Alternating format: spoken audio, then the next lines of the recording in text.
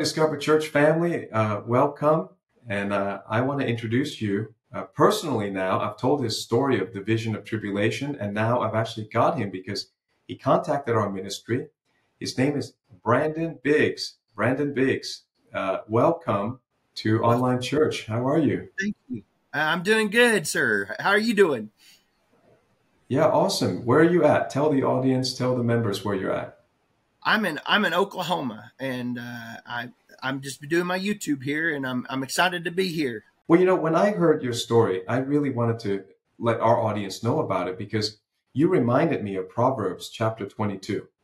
When I heard your story, I said, "This guy's different. There's something different," and the Lord loves loves this man, and it it points me to Proverbs 22 verse 4. May I just read this one? The reward for humility and fear of the Lord is riches and honor and life. I want you to hear that. The reward for humility. Boy, there, there's a, such a need for humility in America, isn't there?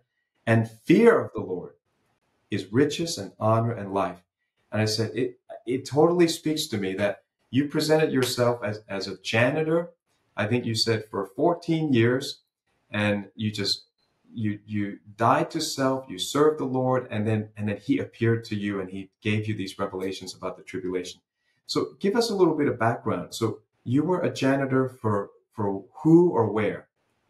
Yeah i uh i worked for kenneth copeland for for three and a half years and i I, I got my job there. I started cleaning, and then I moved to a, a, mega church in Oklahoma City, and I cleaned there for ten more years. And so uh, my wife and I both did work there, and uh, and that's what I did. I just started working there, and and just kept being humble and cleaning those bathrooms, and just seeking the Lord every day. So uh, that's just my journey it, here. It wasn't your dream job, was it? no, it was not my dream job. I did not want to do that job at all. But but the Lord said, "I want you to keep doing this," and um, I did it. I stuck with it, and um, there was reward in it. So yeah. Yeah. I mean, I, I, I heard from your videos you really struggled uh, in the flesh, and you were telling the Lord that you know you're called to ministry and you should just you know start yeah. pastoring, but That's they exactly. kept making you clean.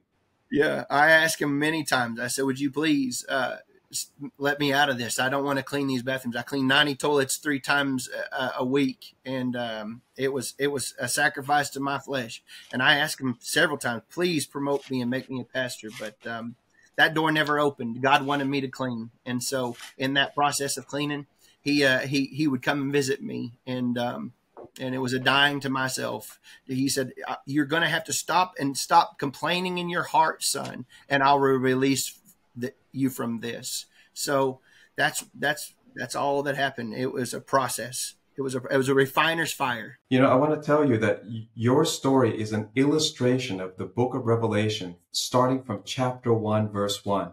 You describe, you are an illustration of this. Let me read it to all of our members.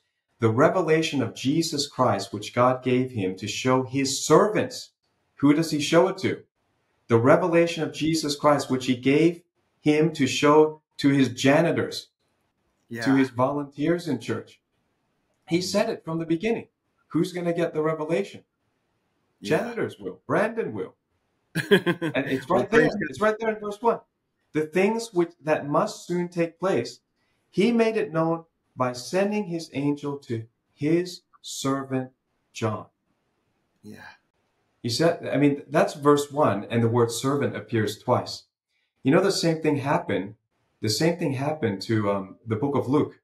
The book of Luke talks about how uh, God had shown, you know, the gospel events to his servants.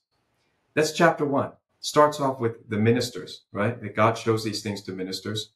And then it says that Zechariah was serving in the temple and an angel came to him.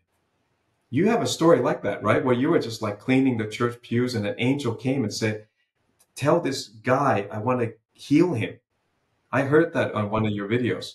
Yes, yes, he did. I was uh there was a uh, man that was overcoming big time with his heart, and an angel came and tapped him, tapped on my shoulder. I actually felt it, and he tapped on my shoulder. and He said, "I want you to go and and and I, he had a heart in his hand, and he took the heart in his hand and he said, I, I want to give this to Jim. His name was Jim, And he, and so I, I said, Oh, I said, what, do you mean? He said, go tell him I have this heart and I want to give it to him. I'm seeing in the spirit. It's not totally manifested in the flesh, like you could touch it. I'm seeing over in the spirit. And so this angel goes. And so to make a long story short, the man gets healed by the power of God and uh, was completely delivered. His blood pressure went normal and everything. So yeah, it, it that's that's just the way it's been. A walking supernatural. Yeah, and he didn't believe you because people expect some some well-groomed, big shot, you know, gold ring guy to come and he's the one that's going to bless you and give you a breakthrough. People don't yeah. expect a janitor, a volunteer, a servant, but that's how we're supposed to be. Jesus he came as a servant. Yeah, he said I he he told me he said, "Man, you don't see nothing." And I said, "Yeah, I do. I'm telling you, I see it." I said, "The angel has," and I told it. I looked at the angel and I said, I said, he don't want the heart. I'm sorry. I don't know what to do. And I said, well, Jim, I said, I'm sorry. I, I guess you, you're just not going to receive it. And I turned around and walked out of the room. And the angel came back to me and said, do it one more time. I'm here on assignment. I need you to do this for me. And so, eh, so that's what happened. And power of God went on him and, and, and he was delivered. So. Isn't that so typical of us? God wants to bless us, heal us, help us. And we say, nah, he doesn't. Nah, you're not, you're not speaking for God no, you're not a servant of God. Somehow you didn't come in the package that we that that I was expecting. Yeah. I want to give you one more scripture uh, that really is why I warmed up to you, and I, I why I want to show the whole world your tribulation vision is not because the vision itself is is um, dramatic or spectacular, because there's lots of people who get visions, but I think that your story really matches. Another place in Luke chapter one, uh, where you see that God is so drawn to servants is when he speaks to Mary. After he speaks to Zechariah, it says very clearly he was serving in his course in the temple and the angel appeared. Mm-hmm. Then it says that he, he comes also to Mary. And what does Mary say? First thing, right? When she understands how this is going to work, the Son of God's going to be in her womb, Mary says, I am your servant. I am your servant. So who does God come to? How are we going to get revelation about the end time? People want to know who's the Antichrist, who, what's the mark of the beast, what do I do with you know my finances? Do I buy gold, silver? All this, you know what? Focus on being a servant in this time. Right. Revelation will come. If you're not serving, what's God going to reveal to you? You're not going to do anything with it anyway. That's so good. So you it, comes from cleaning. Go clean. Go serve in the church. Volunteer. Go clean. Go. Yeah. So you were called to be your pastor's armor bearer. Um, right. It, the, did the church like lift you up? Did they recognize the prophetic anointing in your life? Not at all. Oh, it took time. And over the course of uh, years of me coming and praying in the bathroom and coming out, and the Lord said, I want you to go deliver this word to the pastor. And, and it was hard words. A lot of times he said, I've, he said, Brendan, I've called you to say the hard things, things that most people will never say. He said, because they're cow away from it, but you're going to be bold and I'm going to use you in these last days. So I'd go and, and, and over the course of time of giving words, people started coming. They said, we know he hears God because the words would come to pass. But it was over the course of uh, years of, of, of, of practice and, and, working out a relationship with this man. Serving and, and being your pastor's armor bearer and also dying to your flesh. I mean, these are the things that really are the training for uh, prophetic ministry. So uh, you got this vision, and then I just, you know, I I showed it to my own church members. What did you think when you first saw the video? I was shocked. I really was. I, I was like, oh my gosh, because I I've always watched you before in the past, clear back when you were doing the timelines and the uh, of all, all of uh, the uh, the blood moons and all the things that you've done. You've you've done amazing work, and so I've always followed your ministry clear back from 2013 and before, you know, and when you're really uh, just getting started and so it's it's it was an honor. And i i was shocked. I had in fact i had people on my youtube channel is the ones that told me about it at first because i hadn't seen it yet. And they said you're on uh, uh, pastor steve's channel. And i was like oh my gosh discover ministry you gotta look. And i was like oh my gosh. And it was i was just so excited. So it was it was really an amazing time there. So you tried to contact our ministry. You you you reached out to us. And yeah. um and I heard your story, you know, but I always, I'm a pastor, you know, so I always ask everybody, are, are, you going to church? I don't care if you see Jesus. I ask everybody, are you saved? No, are you going to church? You know, mm-hmm. those are the two things. So, so, um, you, you told a common story actually that of not just from the COVID years, but a lot of people now are not going to church.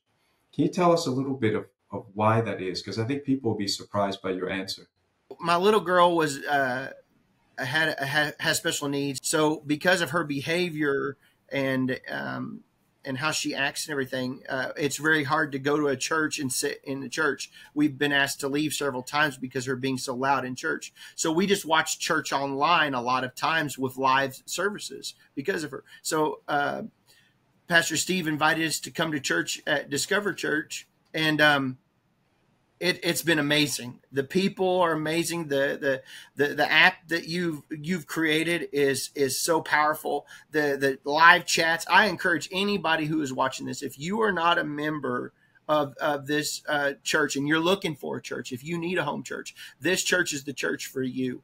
Uh, especially if you have a child with special needs and you've been rejected uh, by mega, mega churches and you can't go. I, I encourage you. This is a place that you'll feel home uh, the Bible studies that he's put on here, and um, all of it. The people are so kind, and they, there's so many people of love, and they reach out to you. So I just encourage you to come and visit.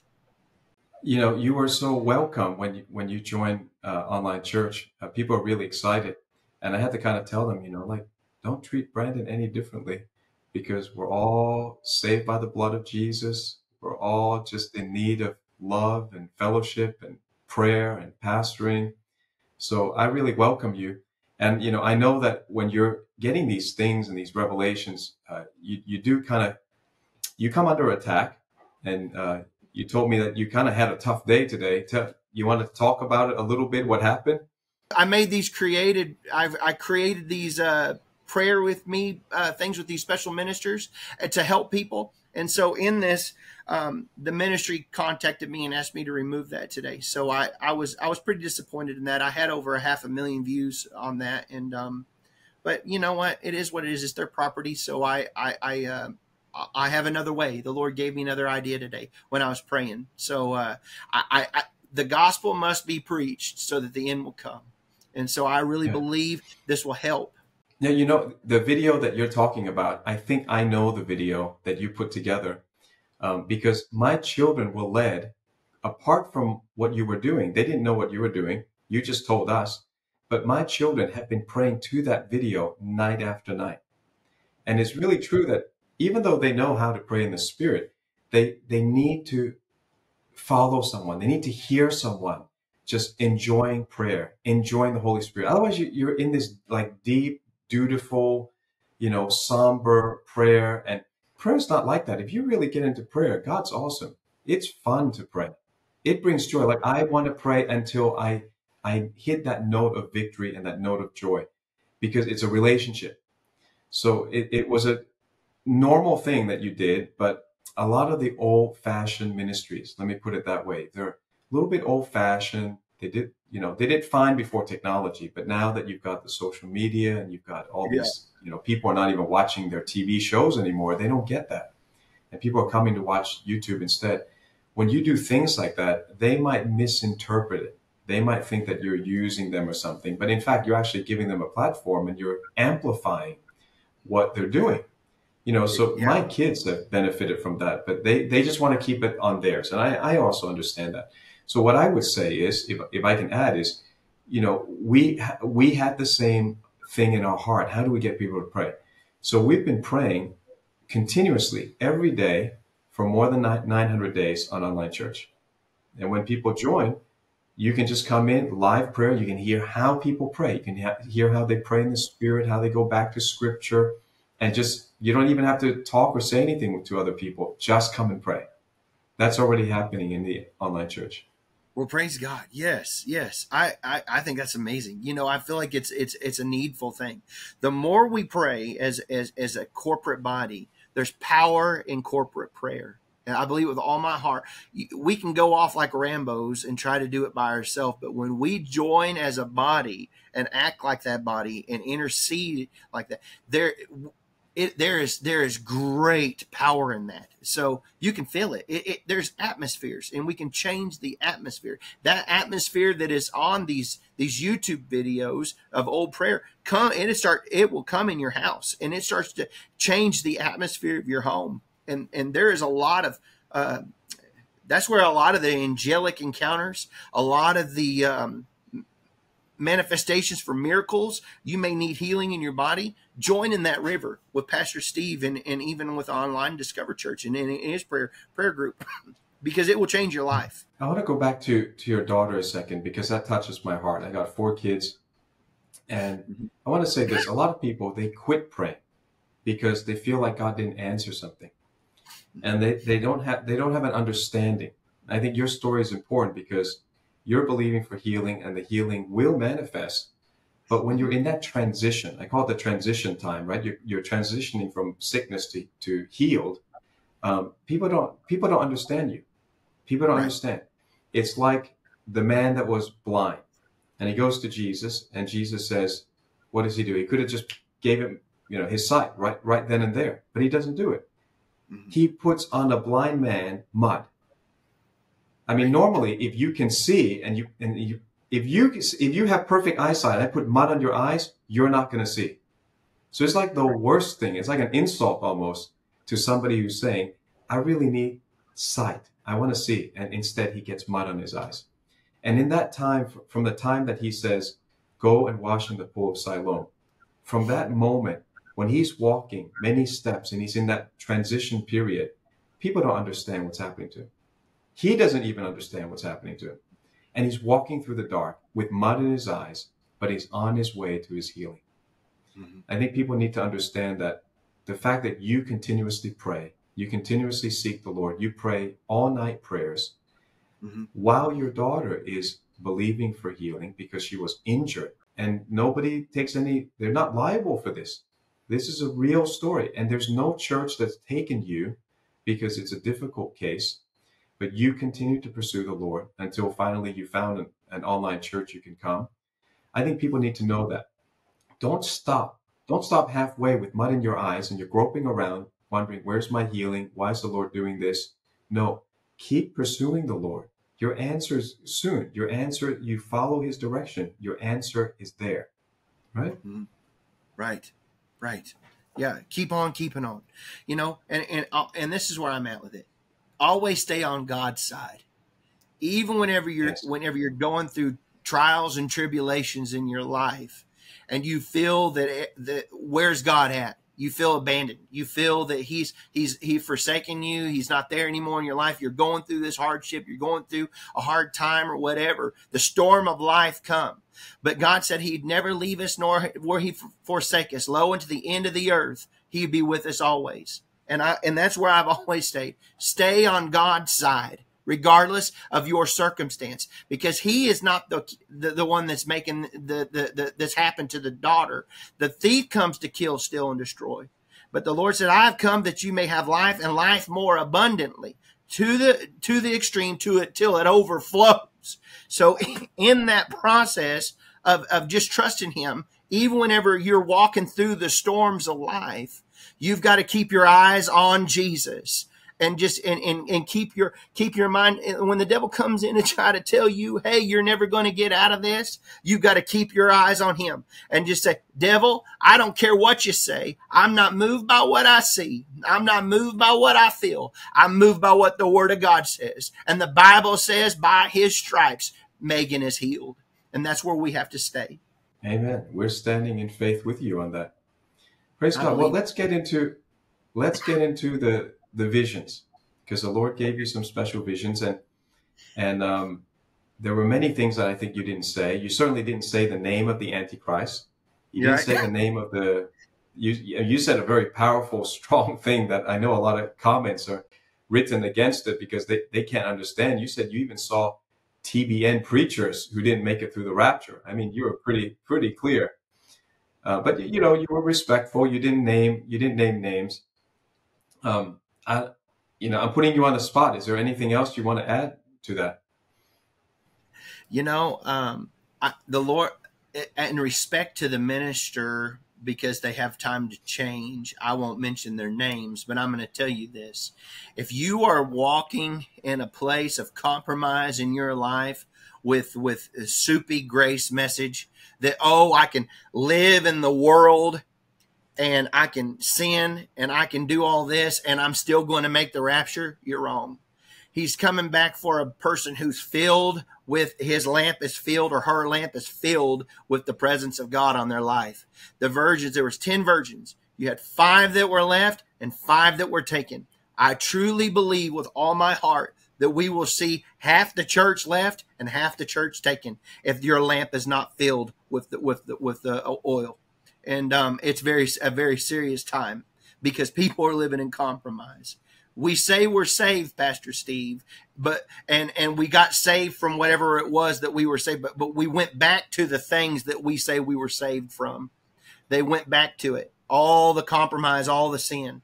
And so we, we've got it we've got to separate ourselves yeah that's that's the way to prepare and the lord said it only 50% makes it to that um to that party i think the rapture yes. is a party yes yeah. the marriage supper well I've got some questions here from our online members. So if you're an online member, you get to send in questions uh, directly to me, even to Brandon, because he's he's with us in the online church.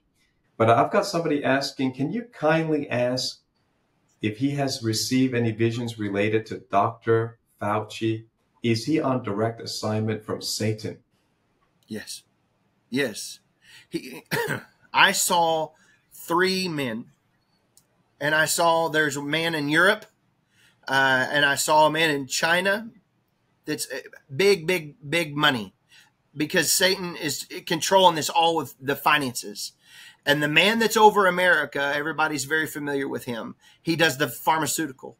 And so he is connected to Dr. Fauci and all the, the this pharmakeia. This it's demonic. All the stuff that they're doing feeling forced to take this for the mark of the beast. It's all leading up to the mark of the beast. Yeah, so Satan is preparing for the mark of the beast, which the Bible says clearly if you take it, it's it's got some spiritual allegiance to it and you cannot be saved. You can buy and sell for a few years, but you can't go to heaven. You can't spend eternity with with the Lord Jesus and and with all your loved ones that would have gone ahead of time, you know? all the any miscarried babies and relatives and grandparents that were saved. You're never going to see them if you take the mark. He's just yeah. a puppet. You know, he's just part of the puzzle. He's not the main cause. He's just part of the puzzle. He's just he's a puppet, just like everybody else. It's for them. So the follow up question is: Is he linked to the white horse of the Book of Revelation? I believe he is. Yes, I believe he is.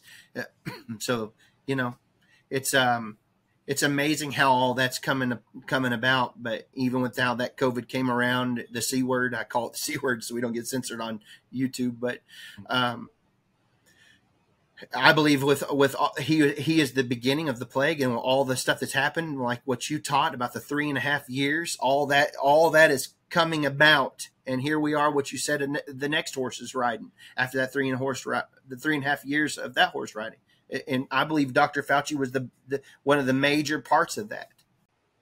Yeah, and then now we're on to the red horse, I believe. And a follow up question is from another member Could you also ask if he has had any visions regarding the Maui fires?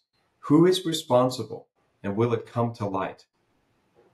Yes. I, I don't know if it will ever come to light, but the Lord showed me I was interceding about this time last year. And um, I, I saw a, a, a, surprise, kind of like a Pearl Harbor attack. And, and it was, and the Lord showed me people running from fire, jumping in the ocean. I saw houses burning. I saw people in absolute terror trying to run from fire. And I didn't know what I was seeing at the time, you know, because when you're looking, you see in part, you hear in part prophetically. It's not all just downloaded to you at one time. But I know that the Lord spoke to me and told me that it was China that was behind it. And it was some, I thought like I saw, I thought it was some kind of, um, uh, like a, a, actual planes and stuff. You know, in my mind, I just saw fires, and so I don't want to add to or take away from anything. I saw fires and people running, and so. And you saw China. That's very interesting. A lot of people you know, suspect that that would be one of the first places China would attack. It's the first place Japan attacked. Right. And um, the way the Lord works with me is uh, He often puts me in the middle of a spot where judgment's going to come. And it's Mhm. not a judgment on saying that the, the people are bad, the church is bad, but there's there's too much that went on, unrepentant, too many blessings sometimes, too many blessings that were were uh, people just took for granted. They Mhm. stopped being grateful. They stopped worshiping Him for His blessings. So that also brings a, a kind of a, a warning, you know. And the Lord put me uh, in Houston just before Hurricane uh, Harvey, you know, the most uh, costliest natural disaster in American history. He put me right there, and then a few days later it came. After that, just before COVID, one of the last places I preached before COVID was um, Maui. And, you know, a lot, a lot of beautiful islands I could have gone to, and I got friends on the Big Island, Oahu, and he put me in Maui with a pastor named Kippy. He's there right now dealing with the disaster and all that, and we're talking about maybe we need to go back and bring restoration and healing by talking about divine justice. You know, there's nothing but divine justice that's going to heal the heart of these people who've lost their children, lost their homes, and and no explanation yet. No explanation. I mean, why would you do a media blackout on something that needs healing, needs to be, you know, investigated clearly? You, this is this shouldn't be another Las Vegas. Well, we still don't know. How many years later is Las Vegas? We still don't know what happened. So the Lord would put me right in the middle of something, and then I I feel a burden because I'm not the bearer of bad news, but I say if I'm there, I am the message already, because that's how the the prophetic works. That's why sometimes like a prophet appears, and and the people in the Bible in the Old Testament they got scared. They said, "Are you coming with good news or bad news?" You remember that the the Old Testament would say that. Just the presence of the prophet would would say that. So I try to tread very gently and gingerly about that. But I said, because we're here and we're talking about Bible prophecy, Maui is going to be judged. You know, and at that time, the, the uh, Kim Jong Un was testing nuclear uh, missiles and he's dropping them into the ocean. He he does couldn't even get them that far. Um, Right. So we were thinking at that time that maybe uh, North Korea was aiming missiles at Hawaii. That's all we could think of. But we thought about fire. We didn't know it was volcano. We didn't know it was nuclear, but fire was going to come to Maui in some form. And we didn't have have it clearly. Now, Pastor Kippy texts me uh, today and he says, you know, that was so prophetic. That was spot on. It was a Wow. warning. So we get it in different ways. But what I want people to understand is we just trust the Holy Spirit to guide us.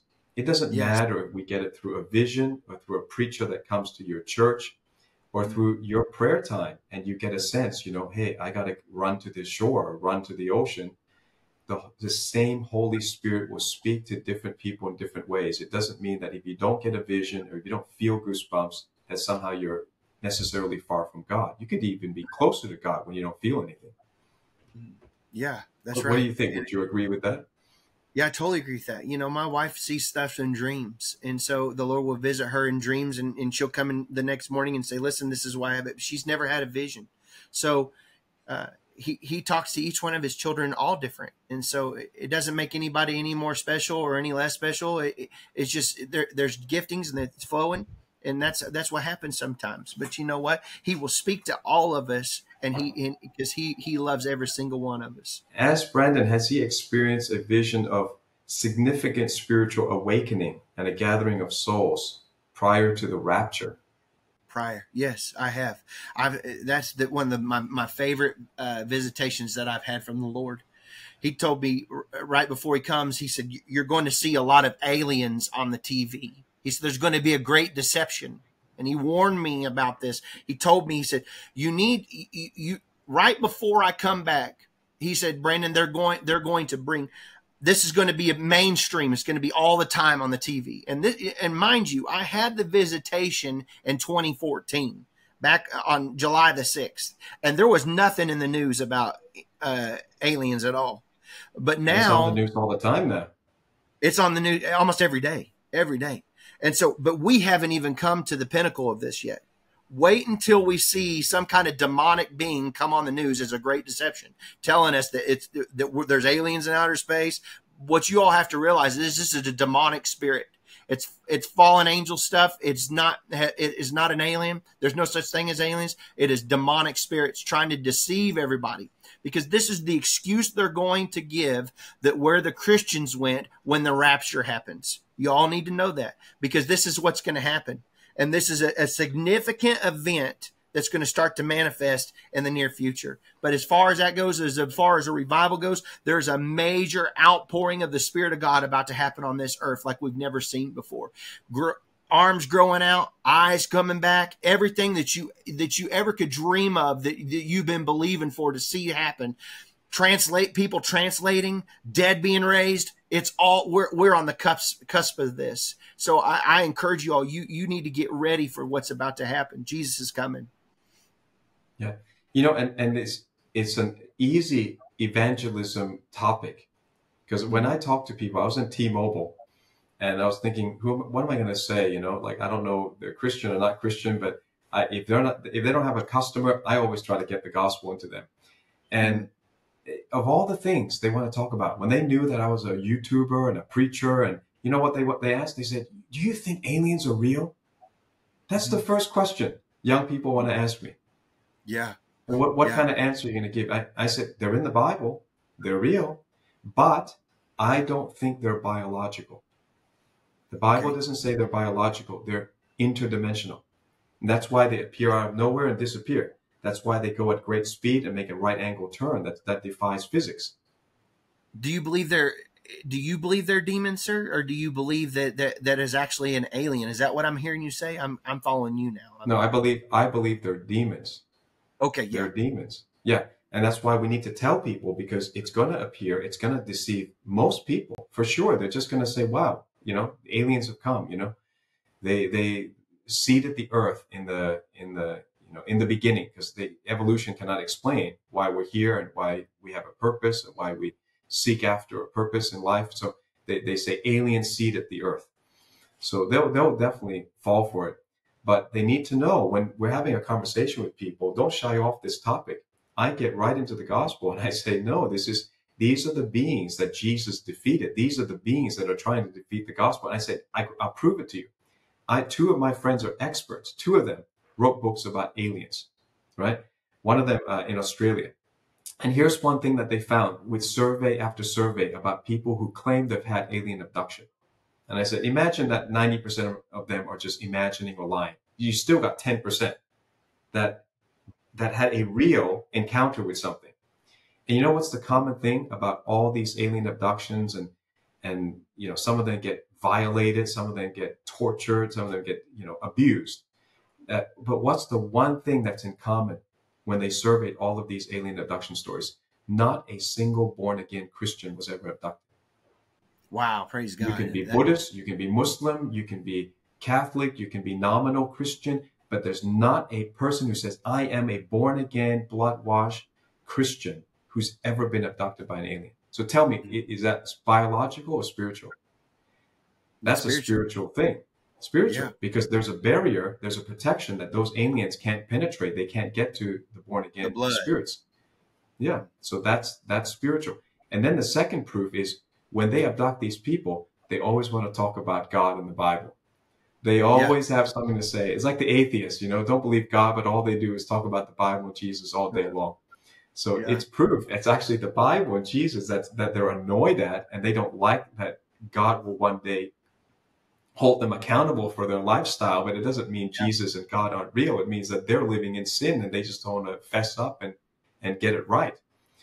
So I think this is a great topic. I, I believe that God told you, um, warn the people before the rapture. You're going to see more and more and more of these apparitions. Do not believe that they're your creator, forefather, benevolent. Um, they are they are demons, and and there are people like L.A. Marzulli will explain even more. They could be disembodied Nephilim and all that, and it gets a bit complicated. So, but just know that they're they're on the dark side and they're deceiving the spiritual beings. I believe they'll actually have them on interview on TV. Eh, that's that. I believe that's how strong this is going to get, and they're going to try. That's how much of a deception that people are going to have to be very on guard for what's about to happen, because even the very elect will be deceived. I'm telling you for mm. what's about to happen. That's right. That's right. A lot of people just leave church. Talk about how many people left church during COVID. They'll leave church when, when they think an alien has landed. Yes. And, and goes on yeah. TV. Yes. So we're living be- in these times where we, we have to be so strong spiritually. We have to read the Bible every day. We have to pray every day. And I think even if you travel or you have sick loved ones or whatever it is that, that keeps you from church, you've got to have some fellowship. And God's given us now the, the technology. We, he's digitizing everything. He, he's reaching out to people online. So I think it's real. It's real church. It's not a substitute anymore. So come on into online church and thanks a lot. Well, that's Brandon Biggs coming uh, to us, joining us in Discover Church online. I'm so glad that uh, you shared a little bit of more of what God's revealed to you. So mm-hmm. guys, remember, don't be troubled. Don't give up. Keep looking up. Look up, look up, yeah.